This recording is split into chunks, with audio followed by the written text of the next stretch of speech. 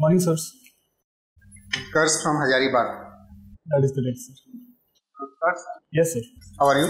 I'm doing very well, sir. Thank you. You have been in Delhi or coming from Hazaribagh? Sir, I was in uh, Hazaribagh till now. I came here uh, a couple of weeks back for the preparation. You worked in Goldman Sachs, Festival. Yes, sir. Uh, what's your father? Sir, he's a junior engineer in Public Works Department in Jharkhand. Tell me something about Works Department in Jharkhand, how it is working, what are the issues, and any good experience your father would have had. The Public Works Department, uh, historically set up in, eight, in 1850s by the Dalhousie, sir, by, the, by Viceroy Dalhousie. Um, it's involved in a lot of public uh, assets creation, such as lakes, roads, bridges, etc. My father uh, approves, uh, goes through and approves the estimates for such projects. Um, he has reported a few uh, cases where uh, Estimates support? Sir, I understand he uh, approves the estimates first and oversees the construction later. That is correct. Um, so coming to the issues, there are there are funding crunches. He, uh, often there are projects that need to be approved for a greater amount, uh, but uh, the funds get delayed. There are also some reports of uh, um, the, the delays and the, and, and the overrunning of funds, and some some reports of corruption as well. Um, Sir, uh, coming to a few, I can think of one uh, good incident where uh, the the port the project was uh, quite essential. It was an irrigation project for the farms, and that has been pending for a long time. Jason also is part of PWD? So it was a pond construction for uh, general purposes. I think uh, it was it would have led to irrigation as well. Um, so that was pending for a long time, sir. And my father was quite uh, instrumental in getting it approved at an earlier rate. So people were quite happy. Then. You have any idea about uh, class action proceedings? So that name some, seems familiar, but I cannot recall at this point. No, sir, I cannot. Cases, number of cases uh, going to courts, and courts decide something. So I'm not aware of this of this specific category of cases. I'm sorry. I- I'll look it up. You would have read in papers, came yesterday and day before yesterday, that monetization of um, 6 lakh crore. Yes, sir. So the uh, project is meant to uh, monetize our existing assets across diverse sectors, be it railways, be it energy, be it electricity, or roads, etc. The idea is to not lose ownership of these projects. Tell me, I'm confused. I don't know what does it mean. We have roads, highways there. Say highway number eight. How it is to be? Yes, sir. So uh, a private sector could be given operational control over it. They will be responsible for its maintenance, etc. And at the same time, they will uh, benefit from the toll that is being provided there, sir. So uh, So we will be burdened with extra toll. We are the consumer. So we will be burdened with toll. That is the meaning of monetization. So the project uh, has to be something that is monetizable, which means it has some uh, in- income source associated with it. In the case of So a it has the roads, I think, no, one lakh crore or something. yes, sir. there will be a small amount of toll with it uh, to ensure it is maintained and, and a good quality road is provided to the consumers. So that will be Airports, so in the airports again, uh, it will be leased out to private sector. They'll be giving a monthly, a monthly or yearly uh, payment for it. airports And are already private sector, they are managing. Like some of them, so yes, there, there are two or three of them which are currently being managed by private sector, but the others can also. lot of commercial space is also there, Indeed, sir. from which government is getting. Yes, sir. You understood the meaning? I, I couldn't understand. So in the specific case of airports, I don't fully understand here. In the case of roadways, it's easier to uh, visualize how it will be monetized, how the cash flows will work. I- I'll, I'll look up about the airports. Okay. Our computerization in the country, I think in the last year, uh, there has been good growth in the computer sector. Personal PCs. So, have any idea about that?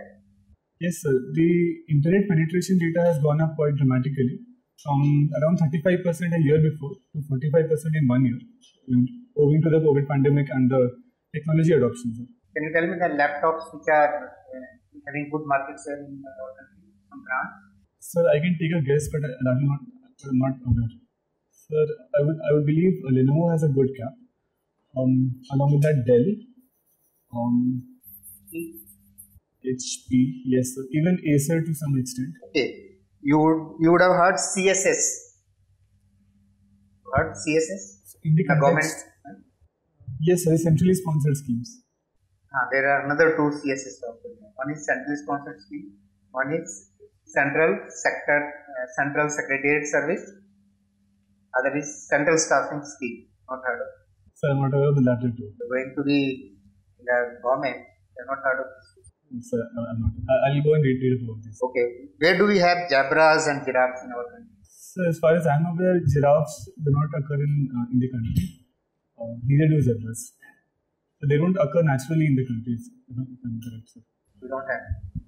So we can import them and have them in uh, have have them artificially introduced. We have in the rules at least. Yes, sir.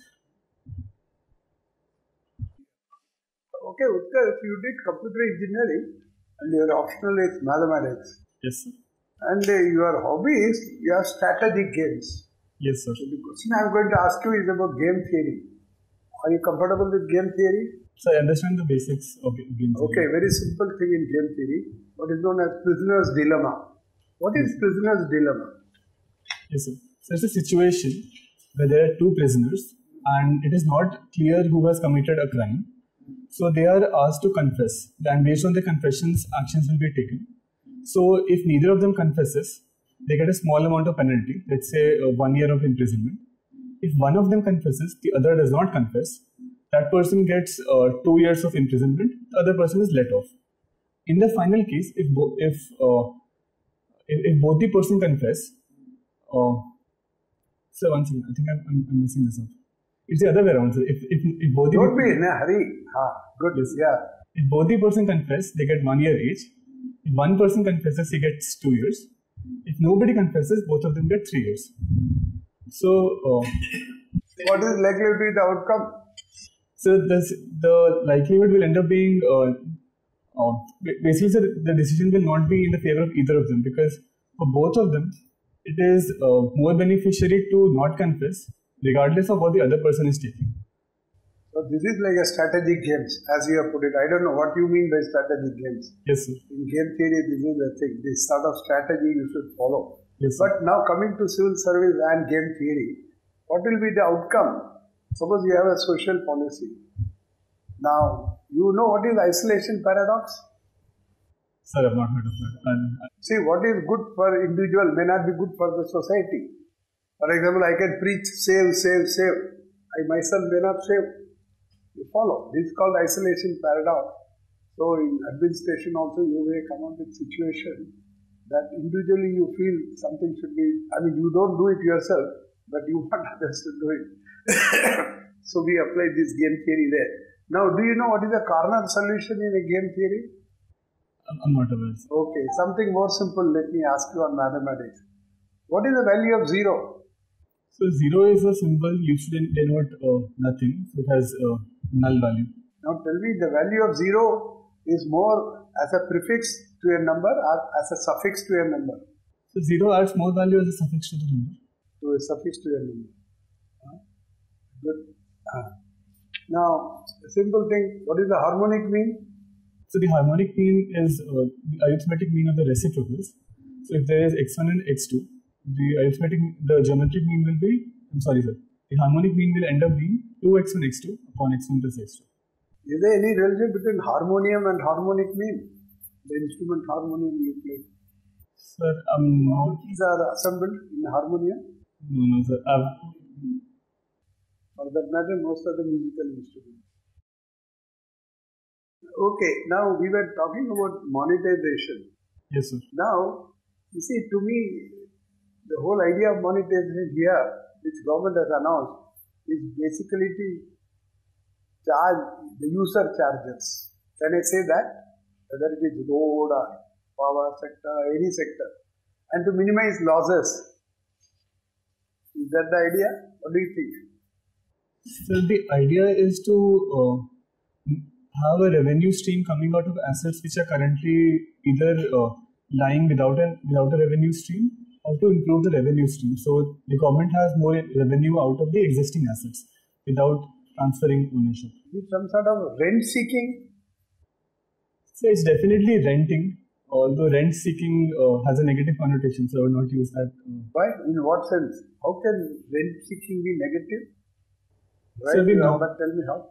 I've normally read about that in the context of corruption, where people ask for bribes. So uh, I, I, I thought this would this would have a negative connotation, rent seeking. Okay, good. Now, one or two simple questions. What is FRBM? So FRBM Act, the Fiscal Regulation and Budgetary Monitoring Fiscal regulation, responsibility. Responsibility and Budget Budget Management is basically an act that provides a roadmap for fiscal consolidation, that is bringing down a fiscal deficit and keeping a, uh sort of uh, encouraging government to to uh, cut down on excess expenditure. Recently, there was a review committee under NK Singh which was set up and that provided a ro- roadmap till 2022 for uh, 0.8 percent uh, re- revenue GDP, re- revenue GDP and 2.5 percent overall fiscal deficit. 2.5. 2.5 overall fiscal deficit. What is the, how do we define a fiscal deficit? So a fiscal deficit is the excess amount that is spent uh, apart from excess of the income, income of the government. This does not include the budgetary borrowings. sir. So it's essentially the, the borrowings that we have to make to ensure the budget balances. Is deficit always a bad thing? So a deficit means that we end up having to borrow to meet it. Uh, econ- so what? economists Borrow for a good cause. What is Yes, wrong? So economists say that as long as our uh, interest rate for borrowing is less than the expected GDP growth rate, it means we can recover it in future and we are gaining net uh, out of it. So a small amount of de- deficit, especially in a faster growing economy like India, is not, not a very bad thing. Tell me, last question. Tell me, what is the difference between a consumption expenditure and a capital expenditure? So a consumption expenditure is meant to uh, is, is made on a is made on asset or something which is consumed immediately. So if a consumer uh, makes an expenditure on food items, that will be consumption expenditure. What is However, capital expenditure? capital expenditure is made on an asset for a longer time period. For example, this could be the acquisition of land, this could be acquisition of shares in uh, in, in the stock market, etc. So don't you think we should look at the why the deficit has come up? Is it due to consumption expenditure or capital expenditure? So you can't just pass a judgment saying deficit is good or bad. You know, it all depends. Yes, sir. Indeed. Thank you, sir. Can you tell us something about Hazaribagh? Any famous personality, politician, any important? So personality-wise, I can think of uh, Sri Yashwant Sinha. He was an eminent civil servant and later went on to serve the government as minister as well. I can also think of a few places which are famous in Hazaribagh. Okay. Now in Jharkhand, this Naxalite problem is pending since long. What are the reasons why several governments they came but could not handle it so uh, effectively? How do you uh, analyze the whole situation? What are the problems? Where the actual crux is lying? So the fundamental problem of Naxalism is uh, the development deficit. Um, prior to bifurcation, the freight equalization policy posed uh, bifurcation a mix of problems, including political instability and uh, infrastructure, etc.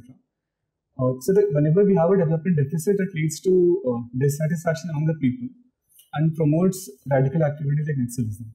Secondly, also, sir, the geography of the region, which is highs and lows of the plateau and dense forests, they enable Naxalism to exist, sir. Also, in conjunction with the Red Corridor, where even when the state takes action, they take refuge in another, another states, like Chhattisgarh or Telangana, etc. So that means, and our interstate coordination, so there is slightly lacking. All of these reasons come together to make Naxalism a threat that is relevant even today, sir. But one good approach would have been that to stop their fundings because they are getting funding from the some internal sources. So, what are your observation on that? So indeed, uh, any strategy to counter Naxalism needs to be multi-pronged. Uh, one, of, one of the prongs needs to be cutting the funding, as you, as you pointed out, sir. The other prongs will be development and uh, security uh, capacity building, sir. Have you heard about the NEP 2020? Yes, sir. Uh, So, what are the salient features of this and how it will affect the future of uh, students in higher education? So National Education Policy, uh, based on recommendations of the Kasturirangan Committee, has set uh, set our uh, roadmap for education rehaul overhaul by 20 by 2030 35. It has uh, a lot of prominent features both in school and higher level education. In school education, we've set a target of 100% enrollment by 2025. We are providing for vocational and internships uh, right from class 6. We're shifting our focus from uh, rote learning to uh, testing core learning competencies. We are equally focusing on uh, teacher training. So all of this makes it quite uh, uh, quite, quite a complete overhaul in the schools in the schooling. Coming to higher education, sir, uh, we have targeted 50% enrollment by 2035. We have targeted uh, of uh, 6% GDP expenditure uh, in this. Try to give answer in maximum shortest possible form. Only clicks. What are the you know main? So apart apart from this, we are we are setting up the National Research Foundation to foster research across the country. We're setting up MERUs, Model Education Research Universities. They will act as uh, beacon of inspiration for other institutions to follow as well. So apart from this, is greater flexibility to students in the form of academic credit banks, um, multiple points of entry and exit into the courses, and greater focus on cross-disciplinary uh, studies and research. Okay, you know, our students, research professors, they are of high quality because when they when they go abroad in Oxford, Harvard, they are doing wonderful job. Why not our IITs and IIMs? They are opening up their you know campuses in USA and UK and Europe, and they can come and establish their campuses in India. So, what is the hurdle there? Yes, sir. So this is indeed a proposal in the national education policy as well. In this, prominent uh, campuses and prominent universities and open campuses abroad and enable uh, collaborations. So currently, sir, I, I understand uh, there was some popular opposition until now because it was feared that if foreign universities open campuses here, And they are making money from India. Our money is going to them. So why we should not get their money uh, after uh, establishing our campuses there? yes, sir. So, uh, so that is something we definitely are exploring and we sh- should be should be looking at it. The expenditure, I think there's uh, there also be something some significant expenditure involved.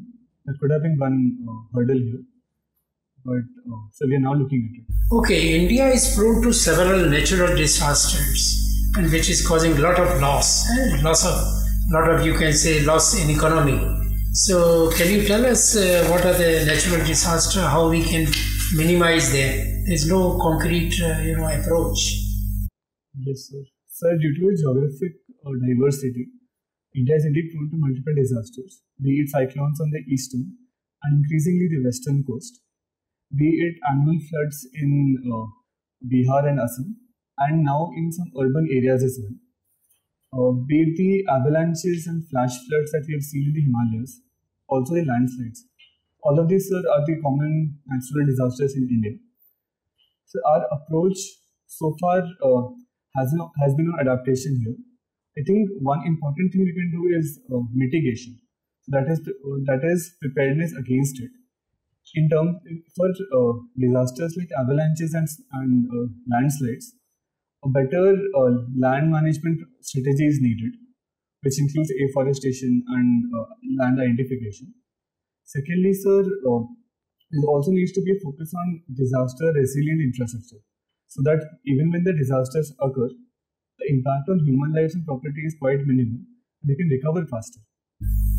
Okay, now there is another very important issue that is climate change, and a lot of you know countries they are putting pressure on India to stop carbon you know emission. Is it possible for us that we can stop our carbon uh, source or emission by stopping the burning of the coal because coal is mainly used in thermal power plants and we need energy. So if we stop, you know, burning of the coal, what are the other options available with us? So coal indeed contributes uh, 55% of our electricity mix. So it is very important. Um, despite the need for climate uh, for net carbon neutrality, uh, the target set by 2050 for IPCC report. Sir, India has traditionally not used the carbon, the carbon emissions. Our emissions is very very low on per capita basis, while developed countries have used it to uh, reach the levels of prosperity. Secondly, sir, uh, India also made substantial commitments under uh, Paris Climate Deal, the INDCs, and they've also upgraded their commitments earlier under Kyoto 2. So these are something. In fact, India is the only G20 country to be on track to achieve the INDCs. So I understand India is already doing a lot, and given our uh, given our socio-economic conditions, India needs to use the uh, fossil fuels to uh, to bring more people out of poverty and provide them better living conditions. So I don't think India should be pressurized into uh, an early commitment. However, we could uh, strengthen our commitments in coordination with the other developed countries, especially uh, through their commitment of the $100 billion per year under uh, the Green Climate Fund. You know, one UN conference, one expert from Harvard said that in India, the rural women can play important role in mitigating climate change. Can you suggest any idea what he was referring to? Rural women in rural area, how they are producing carbon dioxide, what activities they are doing. So the major the major thing I can think of is the domestic fuels, which are often uh, coal or burning of the wood, cow dung. So they are they have to use for cooking food, even for boiling water during winter. So and then you know, eighty percent people are residing in villages in India. So how we can? Uh, what are the options available with us that we can really stop such activities in rural areas? Yes, sir. Sir, the first thing I can think of is the LPG usage, which is something government is already promoting under uh, the Ujjwala scheme. But say equally, uh, we can focus on biogas. That will not only uh, tackle the waste management issue there, but also enable them to use the same waste for uh, for, for gas, sir, which is far cleaner. Uh, it will also be an example of circular economy, sir, because uh, the plant waste or the cow dung is being recycled into into gases. So there's so the net carbon emission is not there, sir. These are two things that can measure. Okay, okay, you have done your BTech computer science from IIT Bombay. You know, uh, this com- advancement in computer science is a really, we are getting benefit of that, but at the same time, this has, you know, decreased the employment avenues for the youth as well as increase in the cyber crimes. So how these two issues can be tackled? What are your observations on that? So with the IT boom, we have leveraged computer science to for our growth as well as export boosting. Um, as you rightly pointed out, sir, there, there have been concerns of uh, job losses, especially with uh, automation coming up in IL 4.0. So for this, I think uh, we need to we need to reorient our skilling programs accordingly. Currently, sir, the focus has been on uh, labor-intensive uh, industries. That needs to continue, but, that also needs to be in uh, line with the coming up automation. We shouldn't be training people to do tasks which will be automated in the next five or ten years. Secondly, sir, we also need to create a greater pool of professionals in the upcoming technologies through dedicated academic programs, through academy industry linkages, so that these two, the automation tools are available to everybody. Because what I eventually see is automation being a tool to increase the value of human decisions. When a person, so for example, earlier we had uh, the iron tools that boosted the output that one person could produce. Similarly, here when uh, somebody in the industry has access to automation. Thank you. Sir. So you also have a hobby of mountaineering. Where have you been? Sir, for my BTech, I was at Mumbai. So I went to a, uh, nine or ten fort treks in the Western Ghats. While I was at Bangalore for a year, I went to uh, Kumar Parvat, it's the second highest peak there, and to Mullayanagiri. And while at Delhi, sir, I went uh, to the basic mountaineering course at Manali and uh, a Triund trek in Dharamshala. So any uh, hardcore mountaineering sites like maybe Mount Everest or something? Have you thought of it or have you planned anything? So those are definitely in the future. Uh, but as of now, the uh, most hardcore I've been to is uh, the Chitidhar Peak. It's in the Himalayas until a height of around 16,500 feet as a part of my course. Uh, how, how has it changed you, mountaineering? And I think what you do is hiking. What is the difference between hiking and mountaineering? Sir, hiking would be uh, walking through any natural trail. It could be a forest, it could be a, a mountain, primarily driven by walking.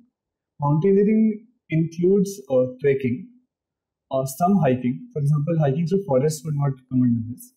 Mountaineering also includes dedicated climbs through equipment like ice axe, etc. So our climb in the course was mountaineering. The rest of it was more appropriately called trekking. Sir. And how has it shaped you or affected you? Sir, apart from an appreciation for fitness, it has also helped build mental resilience. Because a lot of the times when I'm doing something difficult, or for example, I was preparing here, the mindset that I got into was similar to that, where I could see a peak and I had to reach there. Also, sir, I think it helps me help me appreciate nature as a whole. And so when we are in the mountains at that point, it's hard not to uh, accept that nature is so primordial and supreme, and our actions uh, cannot cannot overpower it. So a, a close relation I say is with the climate change, that our actions are triggering nature's wrath. I think these are the ways. What are the strategic games that you play, or like what is exactly this hobby? Yes, sir. So I play. A, I played a few board games, uh, such as uh, Settlers of Catan, Dominion, etc. These are games. These are team team based games where we compete with each other on the board. We make strategies and implement them while competing. They also involve negotiations. So if you permit, I can tell you about one of those games. Yes, the game is called Settlers of Catan, under which we have all of us have uh, allotted settlements which produce some of the resources. For the other resources, we have to trade with the other other party. Okay, I'll give you two woods. Why don't you give me two metals? And so on. That's how we progress. Got your point. Now, uh, can you tell me something about the semiconductor shortages that we are seeing? So we are indeed seeing a global chip shortage, uh, primarily due to the lockdown, which has led to a spike in demand for electronics, um, but also due to uh, the, the supply chain uh, that are getting disrupted global global level. Apart from this, the third reason, sir, the automobile industry has uh, seen a contraction. That led to automobile chips being less in demand this led to uh, the supply being shortened. Now, when the demand has come up again, sir, the supply is not there. It takes time to build up the supply. In India, is there uh, any semiconductor manufacturing facilities, and what are the challenges of it? So there is one dedicated manufacturing facility in Chandigarh by ISRO, um, where uh, multiple institutions have been manufacturing. IIT Bombay has also built Ajit chips there. Coming to the challenges, sir, firstly is about the raw materials our semiconductor and rare earth metal production is uh, almost almost zero. So we are dependent on the imports. Secondly, is the costs. Every such facility requires one billion dollars. Thirdly, is also the amount requirement of clean water and dedicated professionals and a good manufacturing base. All of which are still in nascent stages in India. What is the PLI scheme on electronics that has been announced? Yes, sir. PLI scheme uh, is to incentivize production of different components um, even in electronics, we are aiming to produce uh, more electronics. For that, we are incentivized. This links up with uh, this is a part of the national electronics policy as well, sir. We are targeting 1 billion smartphone manufacture, 600 million for export. Why civil services? I think you could have done very well in private sector. Computer science and IIT Bombay, I think it's the best in India. Why not opt for Google, Amazon, and all the big companies, and why civil services? Yes, sir. Indeed, there are a lot of opportunities, sir. But I felt all of these were slightly narrow in scope. Compared to that, when I look at civil services, sir, it offers me opportunities to work on diverse sectors and in, in a very deep role. At, at a very young age, uh, one can be one can be working in a district, sir. That sort of leadership opportunities as well are not afforded by civil not afforded by the private sector, sir. So these motivated me. Sir. Okay, read one economic daily. Okay.